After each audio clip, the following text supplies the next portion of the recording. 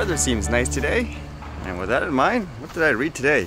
I guess reading this story made me think how it seems like in the US, so many companies are getting beyond visual line of sight approval to fly drones. Is it all okay now, for example, with all the big companies doing it?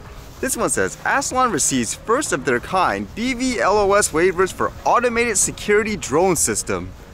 It sounds like this relates to what I wondered before, where with a lot more drones being in a box solution per se, it's all automated. How is that gonna work in terms of licensing and all that? Is it just gonna be okay, whatever, just do it afterwards once you get, I guess, their approval? This one says, Asylon Inc., the leading air and ground robotic security company in the United States, announced today that the Federal Aviation Administration has granted them three beyond visual line of sight waivers for their automated security drone in a box system and service. These three waivers account for four initial sites around the US and their award is a testament to Asylon's commitment to data, safety, and achieving the right results the right way. Asylon initially partnered with the FAA in February of 2020 through the Uncrewed Aerial System Integration Pilot Program, now known as the Beyond Program, when they deployed their automated drone sentry system at Memphis International Airport for FedEx Express. Asylon's entire flight operation from takeoff through landing and battery swap are completely automated and remotely managed. To date, Asylon has completed more than 20,000 automated patrol and alarm response missions in the United States with their drone core system. Would this kind of explain why they are approving this per se? It says the systems are being used to deter crime and detect potential issues like theft, fire, or active shooters while providing real-time intelligence to security teams. Further, as a robotic security platform with various sensors integrated, it has investigated and cleared thousands of false alarms, a problem that plagues already short-staffed security teams. And a comment here says, former acting administrator of the FAA and Asylon Advisory Board member Dan Elwell said, there are only a few dozen companies in the world who have achieved what Asylon has just done here. Of the few who have received these BVLOS waivers, I do believe Asylon is different. The security use case is perfect, the remote operations are built out, the process developed with securing this last waiver is scalable, and the sheer number of automated flights Asylon has done to prove the safety case is incredible. I'm confident that with this team the technology is just a start. So expect to see, I guess, more drone in a box solutions in these ways. Again, it's just kind of funny where all of a sudden it's okay in these instances, but in other situations where someone could be flying a quote toy around a tree, that's a big no-no for whatever reason. And this was everywhere here today. Apparently here in Canada, they're gonna drop some, I guess, vaccine mandates for things like travel and it says federal employees. It says here, Ottawa announces suspension of vaccine mandates for domestic travel federal employees. The federal government has announced a suspension of vaccine mandates for federal employees and for passengers wishing to board a plane or train in Canada.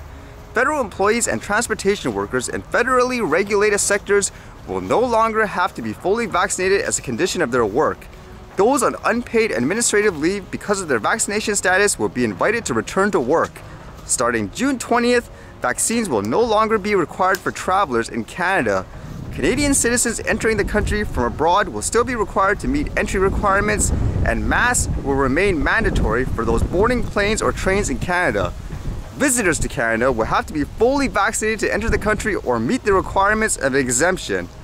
Although this is a key point here because I guess when people read this initially they'll assume okay it's gone but it says here they're just suspending it per se.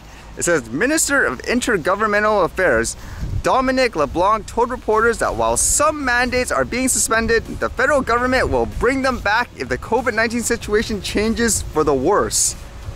So it makes you wonder there, for people who feel it's time to move on, is this one of those things where they're not really getting rid of it? It's more about the situation because I read in places like the airports, I believe places in Ontario, it's crazy, like with the procedures and all that, understaffed. So is this just like a temporary thing? Say, okay, we need this now, so let's lift this, but we'll bring it back afterwards. So will people be okay with that per se?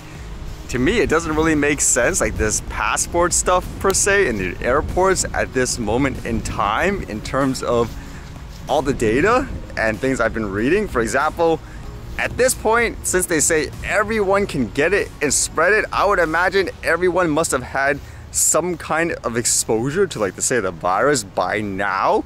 So that doesn't make sense in terms of keeping it. It almost feels like it is one of those things I know, like we love this, I don't know, control or something like that. So let's keep it the way it is and we can't admit or whatever that it's time to move on per se.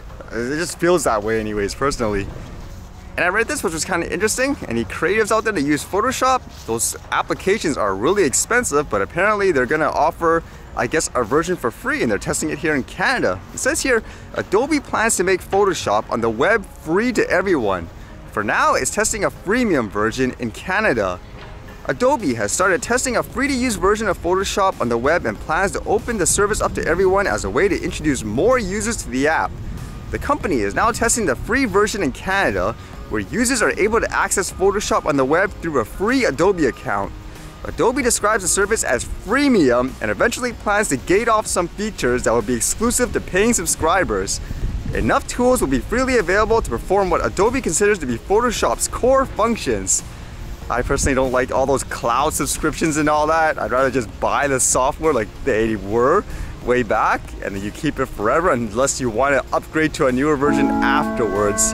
But either way, I guess, if it's free, it could be good for people who want to use the application and all that.